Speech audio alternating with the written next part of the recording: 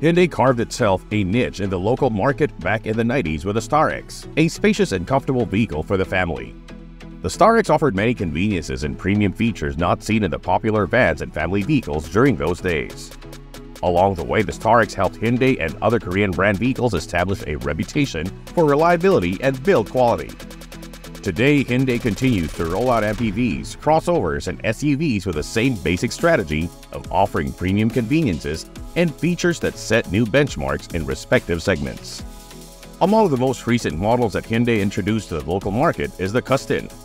In size, the Hyundai Custin slots somewhere in between the brand's two other MPVs, the Stargazer and the Staria.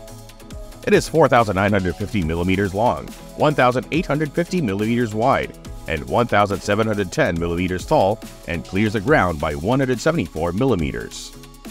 But in terms of price and poshness, the Custin cuts above both the Starex and the Staria. While Hyundai went with bold and edgy, or futuristic, for the Starex and Staria design, it went for bold and elegant for the Custin. The Hyundai Custin arrived in two trim models, the 1.5T GDI Premium and the 1.5T GDI GLS. Both feature the eye-catching glossy black parametric grille, LED multifaceted reflector headlamps, daytime running lights, position lamps and rear combination lamps, body color outside door handles with chrome garnish as well as rear spoiler with high mount stop lamp. The body colored side view mirrors are heated, power adjust and fold and integrated with turn lights. The Custin Premium has chrome belt line molding as opposed to black in the GLS. Also distinguishing the premium variant are the dual sunroof and tailgate. The sunroof is fixed in the rear, but the front sunroof can be tilted and slid open electronically. Both sliding doors on the premium are powered, making it very convenient for passengers to get into or out of the Custin. The Premium rides on 18-inch alloy wheels and 55 series tires, while the GLS comes with 17-inch alloy wheels and 60 series tires. Riding in the spacious and luxuriously appointed cabin of the Custin can be a relaxing experience.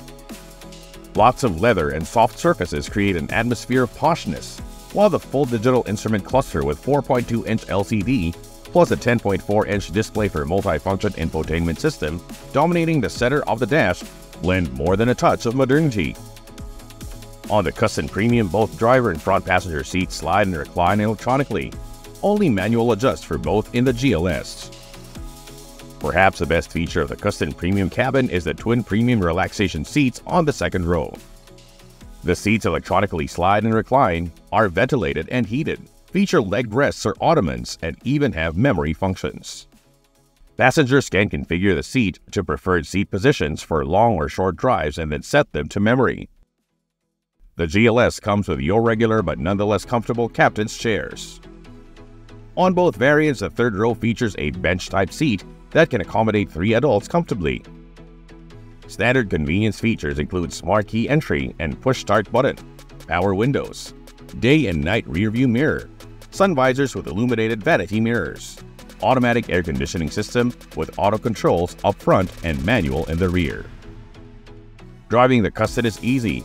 The leather-wrapped multi-function steering wheel can be tilted to preferred driving position, motor-driven power steering adds to the ease of driving the Custin. It may take a bit of getting used to, but the push-button shift console in the Custin also adds to convenience. The Custin rolled out on local shores is powered by the 1.5 LT gasoline engines that maxes out at 170 horsepower and 250 newton meters of torque. This is mated to an 8-speed automatic transmission with four selectable drive modes, Smart, Comfort, Eco, and Sport. The suspension system features front McPherson struts and coupled torsion beam axle in the rear, tuned to make rides very comfortable and quiet. The Custin brake system uses 16-inch discs on all four wheels. The Custin 1.5T GDI Premium arrived with SmartSense, what Hyundai calls its suite of advanced driver assistance system to make driving and riding the luxurious MPV all the more safer, easier, and more convenient on urban streets, open highways, as well as parking. Aside from cruise control, Smart Sense includes manual speed limit assist, forward collision avoidance assist, lane keeping assist, blind spot collision avoidance assist, safe exit assist, high beam assist, lane following assist, rear cross collision avoidance assist, parking distance warning, rear occupant alert, surround view monitor. Standard for safety in both Custin variants are electronic stability control, anti-lock braking system, hill start assist control, electric parking brake with auto hold, dual front airbags, side and curtain airbags, child anchors, manual child lock system, tire pressure monitoring system, and immobilizer. The Hyundai Custin 1.5T GDI Premium is listed at 2.08 million pesos, while the Custin 1.5T GDI GLS is 1.77 million pesos.